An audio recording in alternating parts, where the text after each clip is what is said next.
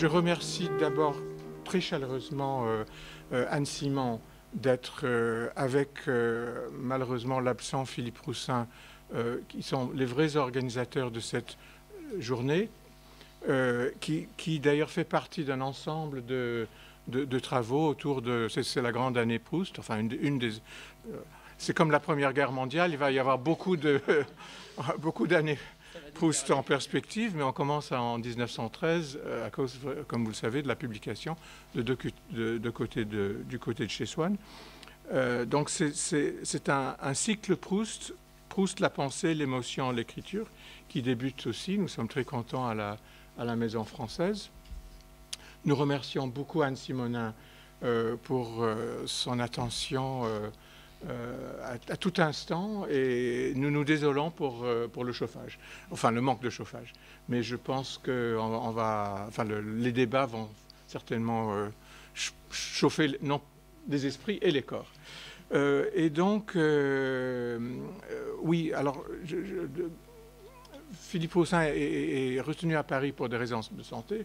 On espère pour lui, enfin je pense qu'on l'attend, euh, il va revenir bientôt, mais il, euh, il vous envoie ses, excuses pour, euh, pour aujourd'hui.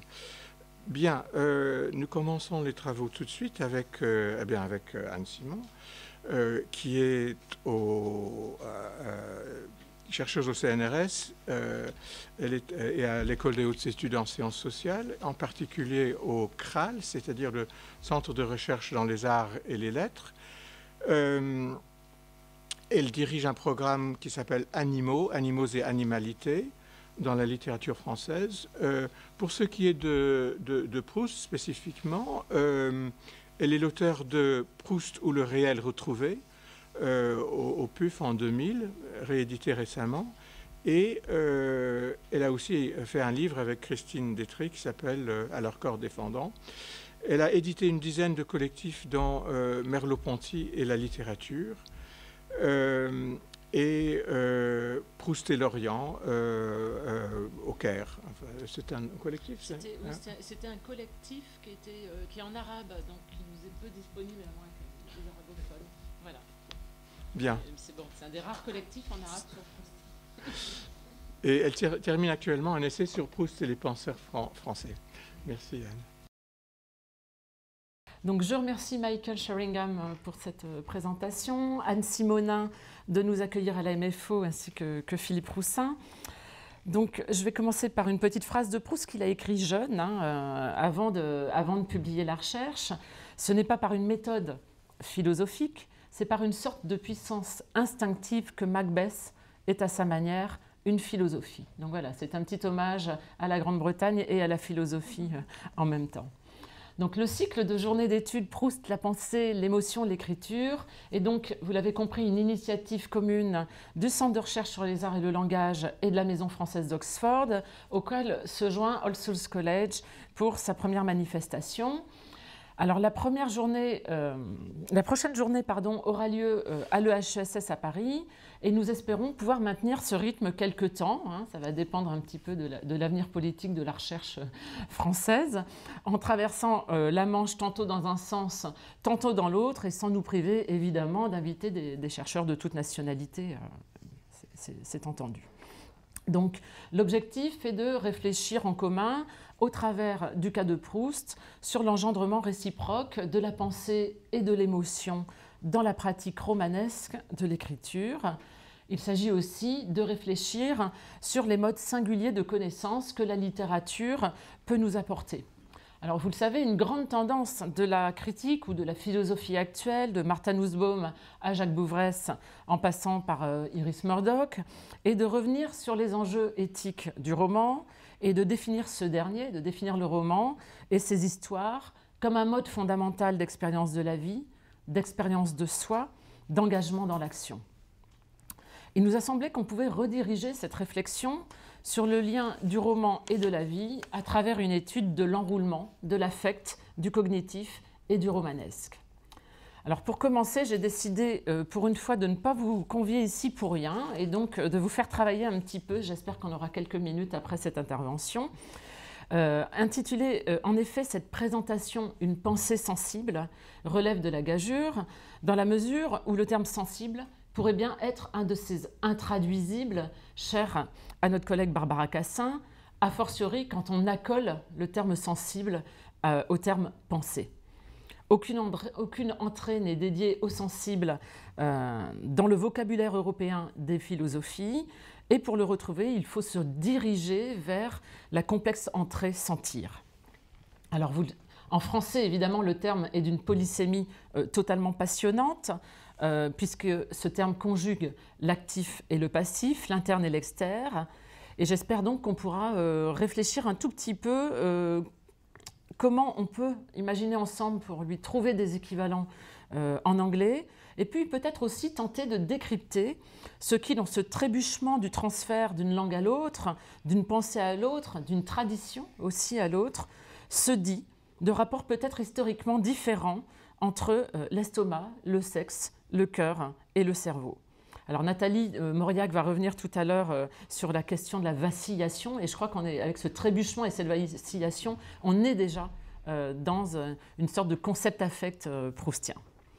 Le cerveau, le cerveau, c'est un mot mal aimé hein, que les intellectuels ont tendance à délaisser au profit de l'âme, avec un grand, un grand, accent circonflexe, au profit de l'esprit. Et je vous renvoie par exemple aux, analyses de Frédéric Worms dans Le moment 1900 en philosophie, au profit de l'intellect, voire du concept. Hein, on y reviendra.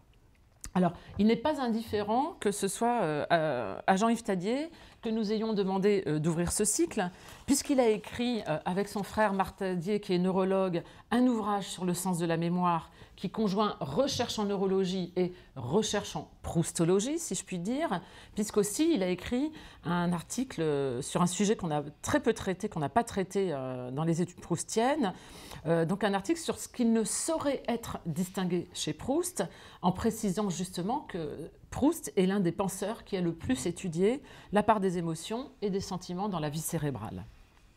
Alors effectivement, pensée, émotion, écriture sont chez Proust indissociables. Vous avez bien compris qu'il s'agissait d'une déclinaison plutôt que d'une trilogie. Hein. Je ne suis pas du tout euh, trilologue. Alors, le chagrin, ainsi, muse infernale, s'avère un des moteurs les plus puissants de la création proustienne, comme le suggère l'extrait que je vais vous lire, un extrait qui est tendu, vous allez le voir, vers la mise en relief de l'œuvre, au prix d'un renversement et d'un délai syntaxique qui obture l'accès immédiat au sens de cette phrase que je vous lirai du coup peut-être deux fois.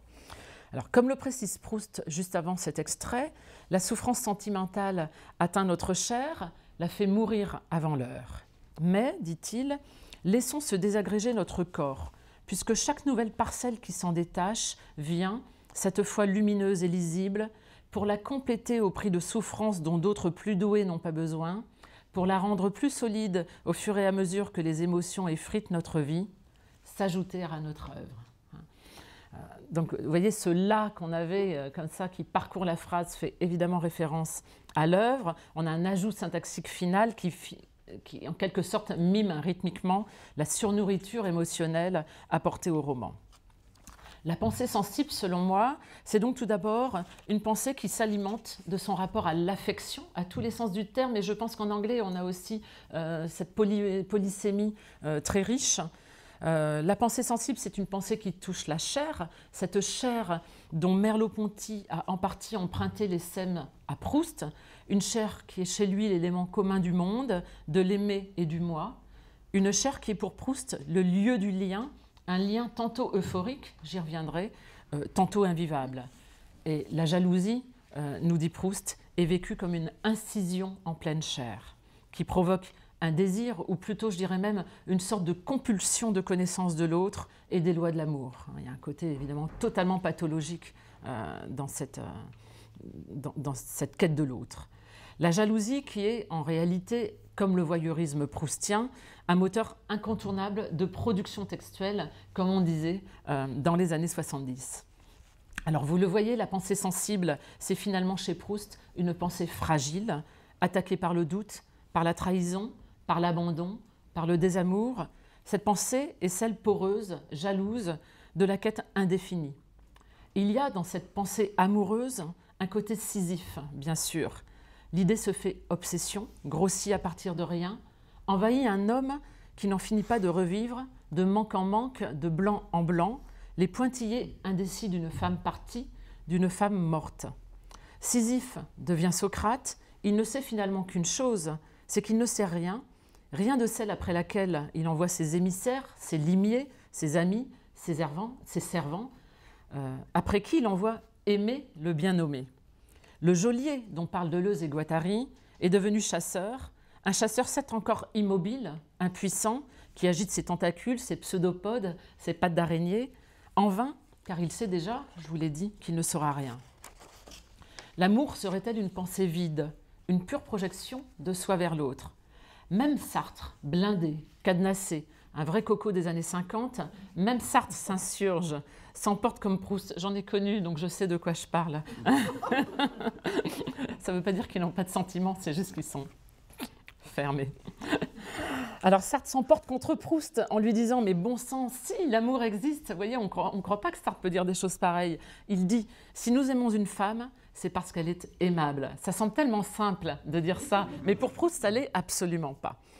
Donc, si nous aimons une femme, c'est qu'elle est aimable, c'est qu'il y a une réalité dans cet amour que nous lui portons, que nous lui donnons, que nous en retirons. Il y a une réalité qui est le, trajet affectif et cérébral de l'un vers l'autre et de l'autre vers soi. Un trajet qui fonde un cours de Merleau-Ponty euh, au Collège de France, Merleau-Ponty qui se sert de l'amour. Hein. J'adore moi cette idée que les philosophes euh, usent de l'amour pour penser. Il se sert de l'amour souche du narrateur pour Gilberte et de sa germination monstrueuse en Albertine pour créer son concept fondamental d'institution et pour revenir sur la ductile et étrange activité de la passivité. je ne vais pas vous faire un, petit retour sur Merleau-Ponty. Euh, donc, ce que je veux juste dire, c'est que Sartre ne devrait pas s'emporter. Il ne devrait pas espérer se voir délivré, comme il le dit, du fantôme de Proust qui le hante en réalité à des niveaux extrêmement profonds et bien plus fantasmatiques qu'il ne l'aurait voulu. Car l'amant proustien, contrairement à ce que je vous ai dit tout d'abord, c'est en réalité une chose. Il sait qu'il aime et qu'il souffre. Il sait que dans l'amour, la vie et la mort ne peuvent pas être abordées en termes de frontalité. Profonde Albertine, que je voyais dormir et qui était morte. Proust parlera ailleurs du rêve, comme d'une pensée d'outre-tombe, d'un entrecroisement de la survivance et du néant. Je cite Ce qui me causait de l'étonnement, ce n'était pas qu'Albertine, euh, pardon, ce n'était pas qu'Albertine, si vivante en moi, pût n'exister plus sur la terre, pût être morte, mais qu'Albertine, qui n'existait plus sur la terre, qui était morte, fut restée si vivante en moi. Morte, je viens de prononcer le mot, ce sera celui qui bouleversera Barthes à la fin de sa vie, après la disparition de Mam. Barthes qui se créera alors un nouveau Proust, pas celui de la querelle des nouveaux anciens et des nouveaux modernes, pas celui de la mort de l'auteur, quand Proust était une cartouche tirée contre Picard et la Sorbonne. Mais le Proust auquel j'en suis persuadée, tous ici, nous ne cessons de revenir. Le Proust de la déchéance physique, de la grande menace, comme il le dit, menace du corps contre l'œuvre qui se désire ou qui s'élabore, menace du corps qui est d'autant plus pathétique que c'est par lui, le corps, que le style de notre vie peut nous être connu, puisque c'est en lui que nous l'avons vécu. Alors vous voyez, le serpent se mord la queue, ma triade dialectique devient un éclair deleuziennement électrique.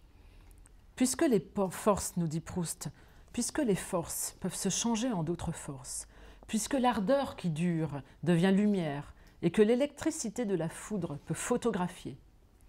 Puisque notre sourde douleur au cœur peut élever au-dessus d'elle comme un pavillon la permanence visible d'une image à chaque nouveau chagrin, acceptons le mal physique qu'il nous donne pour la connaissance spirituelle qu'il nous apporte.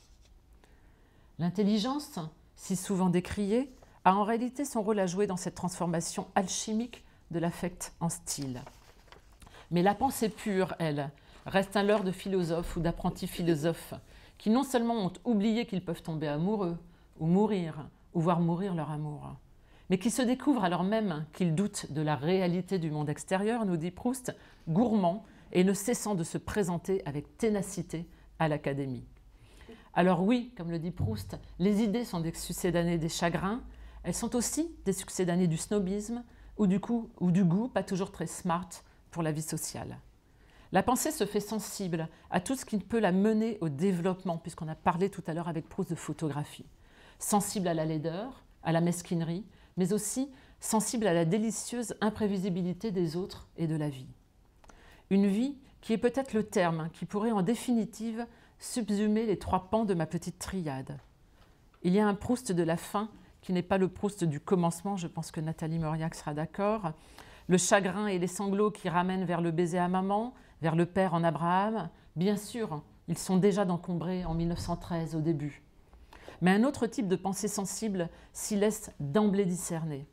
Ce Proust-là, un peu oublié par Barthes, obnubilé par le pathos, décalé par Deleuze qui préférait le Proust de l'explosion au Proust de la stase, la fuite démultipliée aux sensoriels enfouissements, ce pourrait être le Proust de la paresse et de la rêverie, le Proust en barque plutôt que le Proust en automobile. Cette pensée sensible ne serait pas une pensée heurtée, désaxée, s'écrivant sur le fil d'acier de l'émotion blessée, mais une pensée heureuse et facile, une pensivité jouissant de sa simple ouverture, accordée au bruit de Paris, à la sonorité des cloches dans l'entrelac des lignes d'une lecture au jardin, au rire cruel d'une jeune fille, à la beauté linéaire d'une salamandre. On entend euh, quasiment les cloches oxoniennes qui viennent se glisser dans l'entrelac de, ma prose. On reconnaît le mois premier, celui de Combray, celui des jeunes filles. Il est aussi décrit par Proust comme le mois ultime, celui qui, lorsque le narrateur sera à l'agonie, s'il vient à briller un rayon de soleil, se sentira bien aise et ôtera son capuchon pour chanter. Ah, enfin, il fait beau. Il serait dommage, pour parler de l'émotion et de la pensée chez Proust, d'oublier que la recherche promeut aussi une écriture de la dérive, la préscience d'une pensée passive, malléable, qui ne se laisse porter par les courants du monde. Par des jours irrémédiablement mauvais, disait-on, rien que la résidence dans une maison située au milieu d'une pluie égale et continue avait la glissante douceur, le silence calmant, l'intérêt d'une navigation.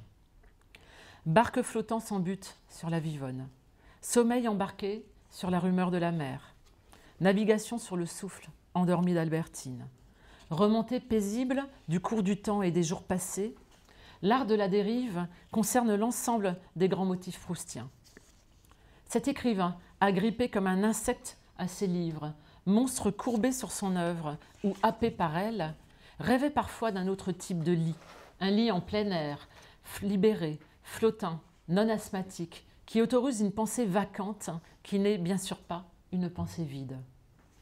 Que de fois j'ai vu, j'ai désiré imiter quand je serai libre de vivre à ma guise, un rameur qui, ayant lâché l'aviron, s'était couché à plat sur le dos, la tête en bas, au fond de sa barque, et la laissant flotter à la dérive, ne pouvant voir que le ciel qui filait lentement au-dessus de lui, portait sur son visage l'avant-goût du bonheur et de la paix.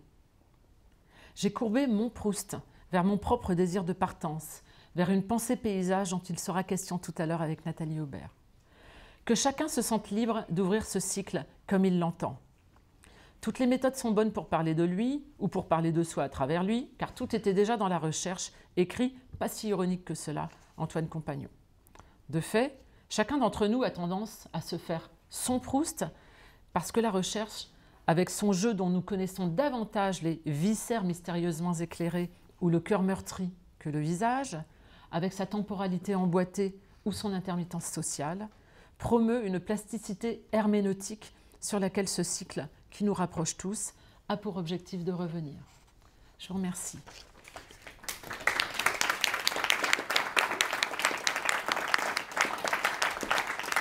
On a pu remarquer au fil de tes, tes remarques, de tes analyses, un Proust euh, où justement le monde animal euh, est présent. Est-ce que tu pourrais commenter un tout petit peu? Est-ce que c'est quelque chose que tu, puisque tu as beaucoup travaillé la question de, de l'animalité, qui est une question qui vraiment nous, nous comment, qui, est venue nous interroger depuis un certain nombre d'années. Est-ce que que c'est un, un, fil dans ce labyrinthe de la, de la pensée et de la sensation chez, chez Proust? Oui. Donc, euh, merci beaucoup euh, pour cette question, évidemment, qui, euh, rejoint des, problématiques que j'aborde actuellement, qui est la question de l'animalité en littérature. Alors, on a souvent pensé qu'il n'y avait pas de bête chez Proust. D'ailleurs, Barthes le dit dans, un cours, hein, il dit il n'y a pas de bête chez Proust.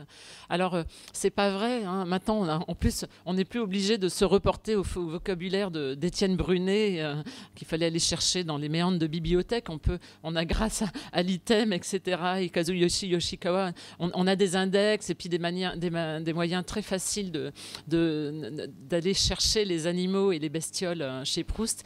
Alors, euh, oui, il y, a euh, évidemment ce que j'appelle, moi, une infra-animalité chez Proust, c'est-à-dire une animalité qui est inférieure en taille et en valeur à l'être humain, à l'animal humain.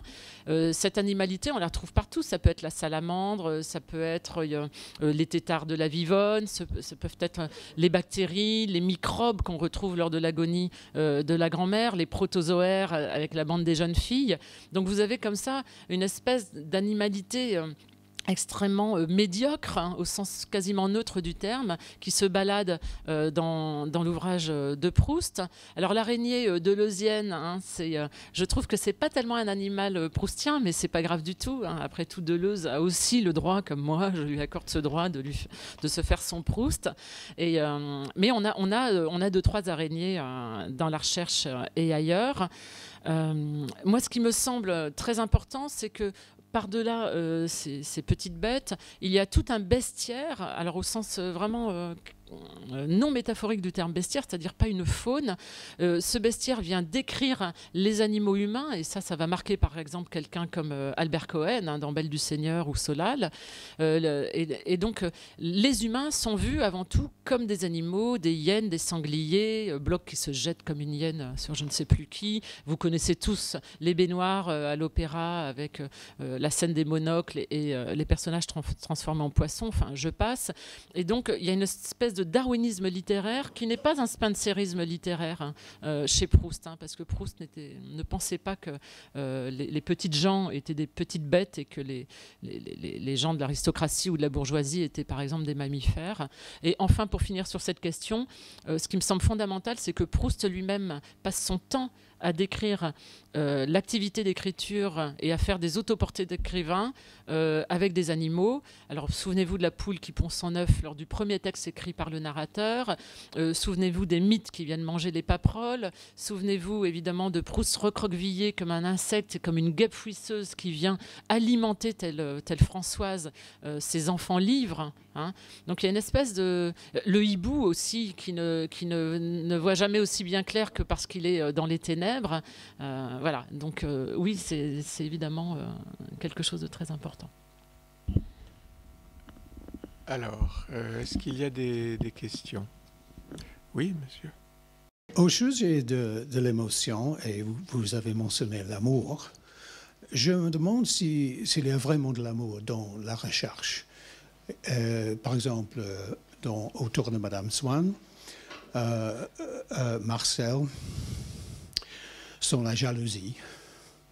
Mais normalement, la jalousie, c'est euh, la peur de perdre euh, quelqu'un euh, qu'on a eu. Mais ce n'est pas le cas ici. Il n'a jamais eu Gilberte. Il me semble que dans la, recherche, on, on, va directement de l'engouement et le désir au la jalousie et le remords.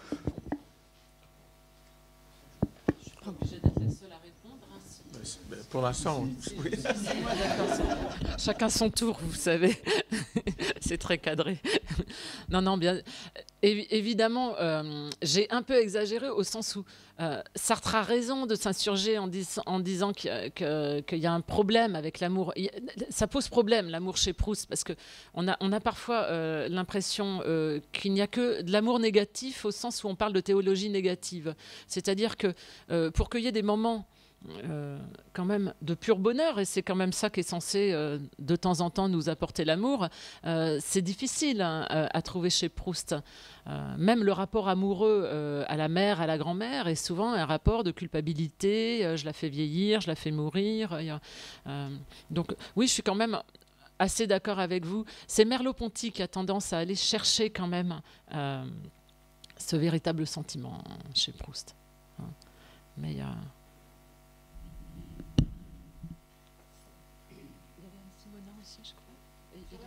Euh, concernant la passivité que tu as évoquée dans le rapport justement entre, enfin, dans l'analyse de, de Merleau-Ponty, en quoi c'est un sentiment qui peut être un sentiment positif?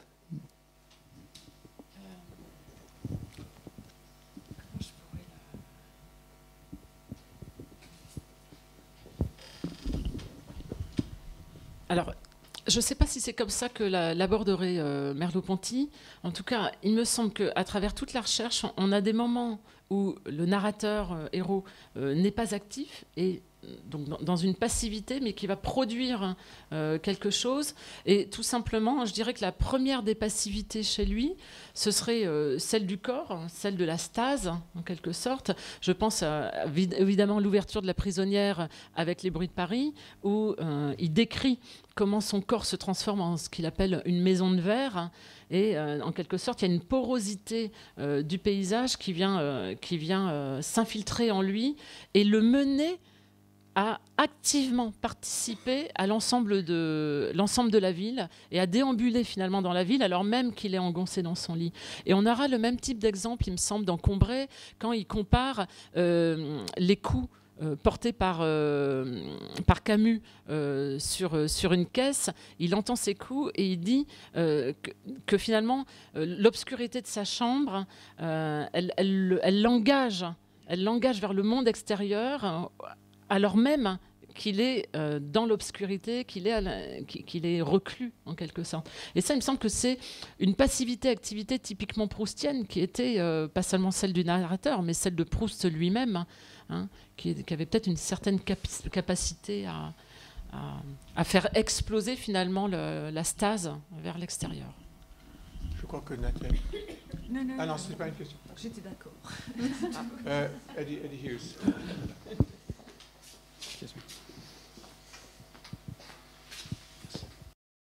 C'est une question, très courte, mais le lien que tu proposes entre Socrate et Sisyphe, tu pourrais peut-être le commenter un peu plus? C'était un peu, un, je dirais, un, enroulement, puisque j'étais partie de l'idée euh, d'un amour qui est plutôt une jalousie indéfinie et une quête indéfinie, un peu comme le tonneau des Danaïdes qu'on ne cesse de remplir et qui se vide tout le temps, vers l'idée que cette euh, euh, impossibilité de connaître l'autre débouche quand même sur une certaine connaissance qui est que dans ce pseudo-amour, cet amour, en tout cas, on souffre. Et qu'il y, a quand même. voilà. Et euh, le lien à Socrate, c'était sur euh, un savoir paradoxal qui serait euh, le savoir de notre non-savoir. Et il me semble que c'est important si on aborde la question d'une pensée sensible, et donc d'une pensée qui ne serait pas une pensée remplie, une pensée bien formatée. et on rejoint sans doute aussi la question de la passivité qu'a posée Anne Simonin, de, de, se dire que comment dire, que le non-savoir et la quête du savoir est une dimension positive du savoir. Et c'est pour ça que je relirai euh, Sisyphe, qui est pour moi euh, l'homme de la quête qui, n'en finit pas, avec Socrate, qui a un autre genre de quête. Euh, elle n'en finit pas puisqu'il ne sera jamais grand-chose, mais il sera toujours l'étendue de son non-savoir. Ce serait peut-être ça, une première réponse. le micro parce que j'aurais une autre question. Mais euh, ton point de départ, c'était la possibilité ou, l'idée que dans le texte proustien, euh, euh, nous avons la, possibilité de d'être dans une situation où la littérature devient mode de, connaissance. Globalement, et tu as relié ça à certaines nouvelles, ou pas enfin, il a, on a la neurologie même, en citant le, les travaux de, Jean-Yves Tadier et de son, frère, euh, euh, je, me demande, est-ce qu'on est-ce qu'il y aurait, peut-être deux, deux, objections qu'on pourrait poser qui sont certainement faciles à. mais, mais qui, sont tout de même, il me semble, euh, là quelque part. D'une part, d'une part l'idée que ce que nous propose le texte proustien, peut-être comme tout, roman en quelque sorte, et toute fiction, c'est une sorte de... de, de, mais plus particulièrement euh, chez Proust, euh, et dans un sens, on, a touché à cela avec la question sur le, sur le rapport euh, engouement, engouement, jalousie, sans passer par l'amour. C'est-à-dire que nous avons une sorte de, de, de, dispositif ou de machine assez particulière, c'est-à-dire nous avons des parcours des parcours de, euh, des parcours de, euh, qui sont des parcours imaginaires euh, en quelque sorte, à travers quelque chose qui serait peut-être du, côté de la, connaissance, mais, entre, guillemets, un certain savoir et quelque chose qui serait certainement du côté du sensible. Mais est-ce que ça débouche vraiment sur une connaissance que nous pouvons, nous pouvons suivre ces parcours, mais est-ce que euh, est-ce que nous avons raison de vouloir, euh, en quelque sorte, que, ces parcours débouchent sur quelque chose qui s'appellerait la, connaissance, qui finalement, euh, c'est bien de connaître les choses, mais c'est peut-être mieux de les oublier en, aussi. et l'autre objection, l'autre L'autre parcours, c'est un livre que tu connais peut-être pas encore, mais c'est un livre récent de Christopher Prendergast que, que, j'ai pu lire en, en avant en avant, euh, avant la, sa publication, qui, s'appelait au, départ euh, Proust Skepticism, le scepticisme de Proust, qui a maintenant un, titre un peu plus racoleur que j'ai oublié. Mais euh, tu, l'as vu, tu as vu ça?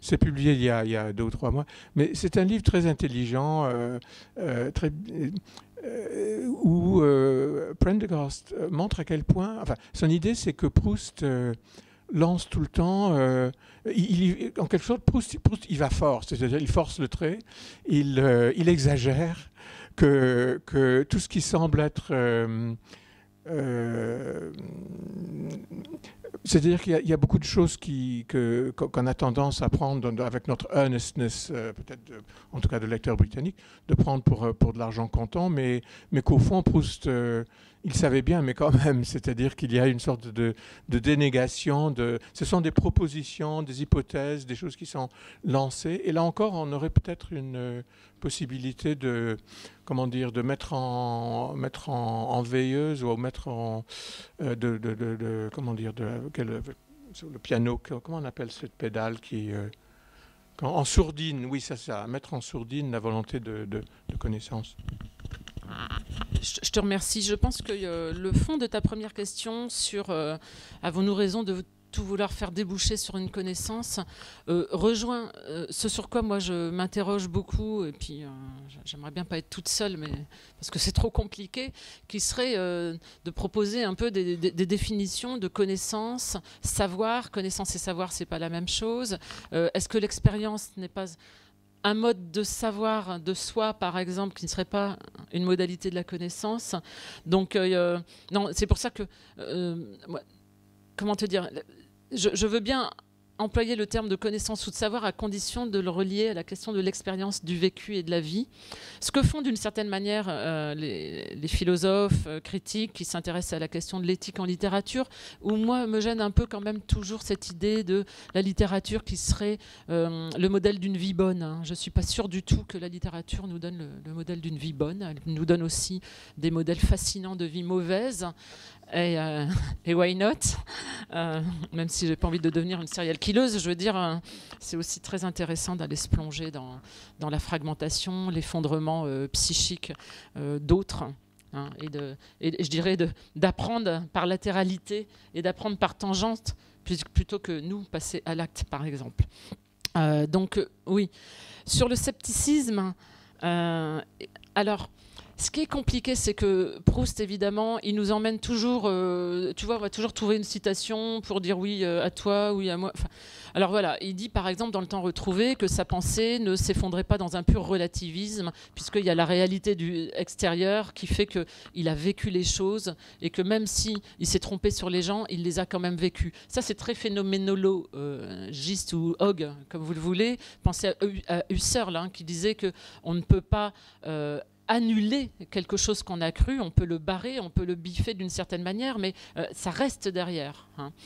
Euh, moi, ce que je dirais, ça, me fait penser à la loi de renversement euh, permanent chez Barthes, qu'a très bien vu, et, Jean-Yves l'avait aussi analysé dans Proust et le roman, qui est que la loi, finalement, c'est celle de l'absence de loi chez Barthes. C'est-à-dire qu'il il passe son temps à ériger des lois pour les faire contredire immédiatement par des cas particuliers, où il va ériger une loi qui va être contradictoire avec la découverte d'une première loi, finalement, euh, euh, oui, c'est plutôt, euh, plutôt le bazar hein, hein, que, la bibliothèque bien rangée.